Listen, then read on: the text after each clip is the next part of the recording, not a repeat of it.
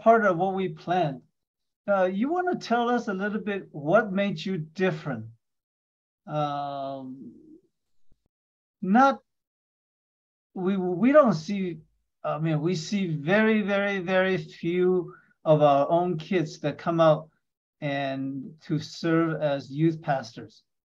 Um, many of the parents would say, "Don't ever become like Josh or Victor's."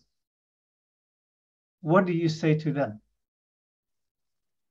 I know this is not a question that we. It's planned. it's fun. I think that's a very fun question. Um, I think the the the it's uh we get what we want. We get what we wish for, right? So when we say everybody else's son, but not my son, um, but you know, many churches right now we have a hard time hiring youth pastors, right? Because I know many in my generation and you know Victor's generation that was like, you know, if you go to seminary, um, I'm not going to pay for it right? If you go to seminary, uh, like uh, you know, like you're out, right? Like, and and and so we're we're paying for it. this. We're we are hurting our own generation. Um, uh, but I think the only thing that made me different um, was like my, my parents. Uh, I don't know if you guys know this. My parents weren't actually very happy that I went into ministry, and they're pastors, um, because it's hard. Uh, and every parent loves their child, uh, but it's the aspect of my parents had to love Jesus and love that my obedience to Jesus was greater than my obedience to even my parents. So my obedience to Jesus must be greater than even to my parents, as long as it's not in sin. Does that make sense? So um, it's um, I think I think the the aspect, yeah. So that's the and I have to be willing to say i want to follow jesus and follow jesus all the way um, and yeah so i think the that's the difference and my parents they prayed for me a lot um, and they told me all the time they were praying for me um, and so uh, i you know I, you guys many of you guys know my parents as well. They're not perfect parents at all by any means. Um, yeah uh, but at the same time i can say that yeah they they prayed for me and they allowed me to they trusted what god was doing even if i didn't know what i was doing. Uh, because they knew that they raised me in the lord right? My goal is to pursue jesus. Um, yeah Victor, uh, I'm I'm a little different than Pastor Josh. Um, my dad is wasn't a believer for a very long time. I had the privilege of uh, baptizing him actually uh, a couple really? years back, wow. which was really great. Yeah, um, but um, my mom had set me aside. They had been uh, trying to have a child for a few years, and she prayed uh, Hannah's prayer. And so um, originally, my name was almost going to be Samuel. Um, but uh, my dad my dad said no. Um, but um, but my mom had always uh, in mind for me to go into ministry, and um, uh, in my fourth grade year, my mom asked me what I want to do when I grew up, and and I said I want to I want to be a pastor. Um, and so that's when she started to send me to Christian school, um, sent my brothers to Christian school.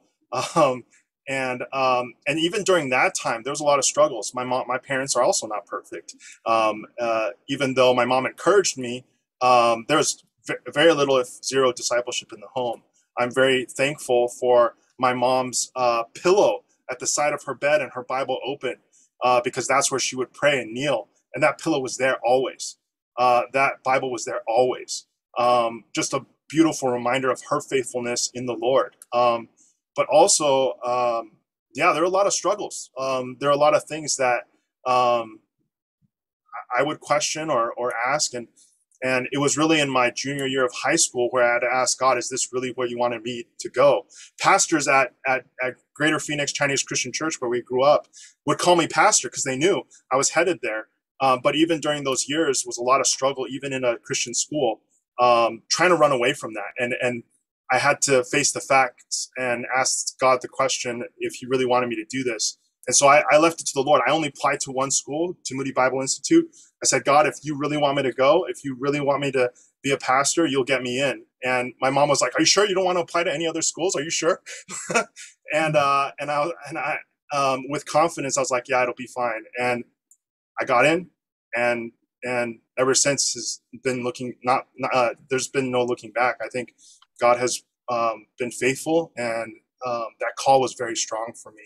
Um, my mom was my mom was uh, of course very supportive. My dad uh, was more of a standoffish dad, so he he kind of was like, well, as long as they do what they're happy, um, then fine, then fine. And to a degree, that was a grace from God, uh, I think. And so, um, yeah, so that that's kind of where I've come from. Yeah, I got sent to Christian school too, but that was because I was fighting every day in uh, elementary school. So it's completely different. But you know, yeah. God uses broken pieces, and um, you know, and uh, so yeah. Yeah, so there's no formula. You know, I, I think that's what we have to recognize. You know, God's grace um, pours out, and and yeah, yeah. Um, there's no formula for that. Mm-hmm. But be I, faithful. I, be faithful. Yeah. yeah. But I, I think every kids need to be like Pastor Victor to see your to see like his mother's prayer pillow where mm-hmm. she knelt and pray.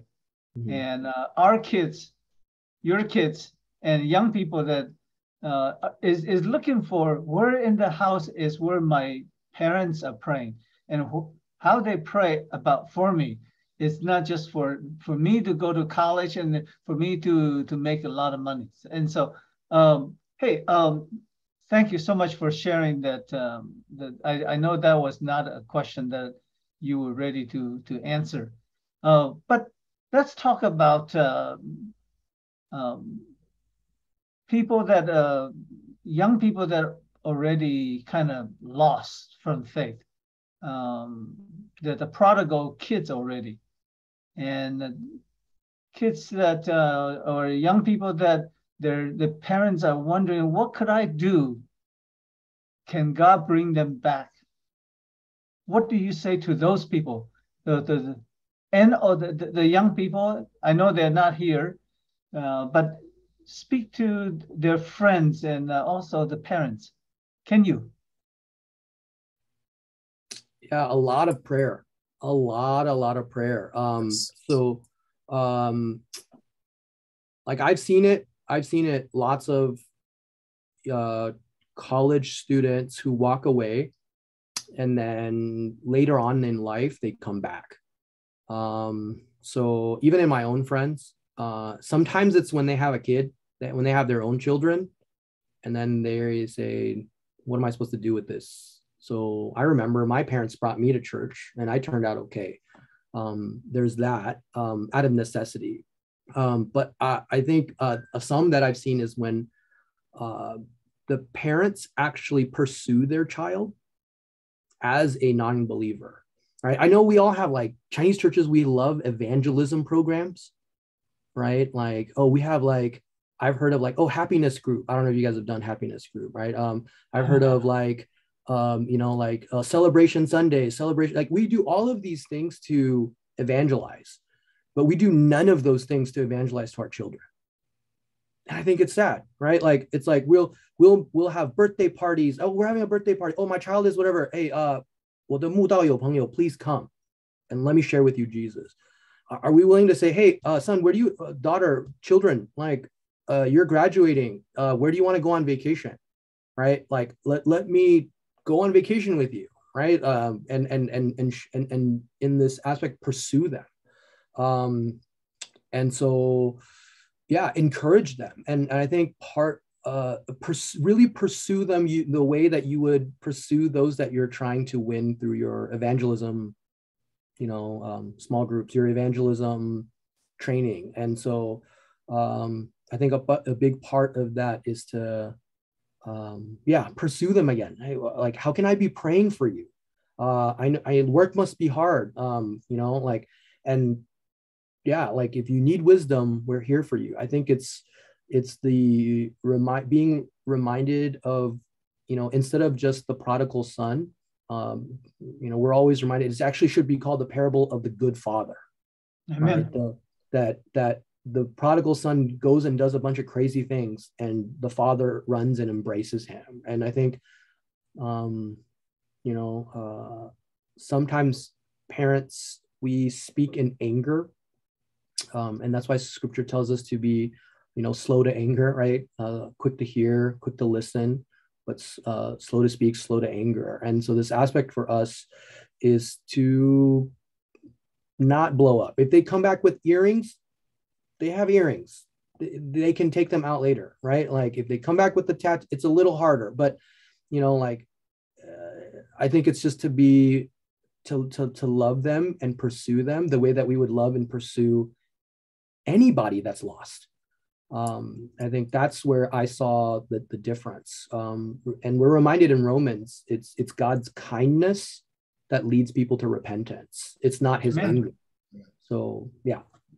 Yeah, and I think on that note too is this I think parents like pursuing them with a mentality of you're reaching their heart um, and withholding the judgment of their actions and their behavior.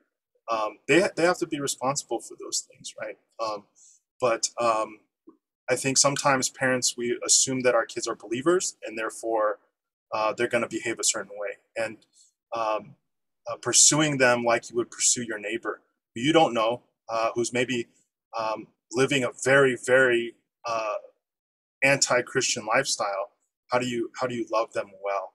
How do you how do you care for them well? Um, um, even as they're treated, and, and Romans, right? Um, uh, that we are to love our enemies.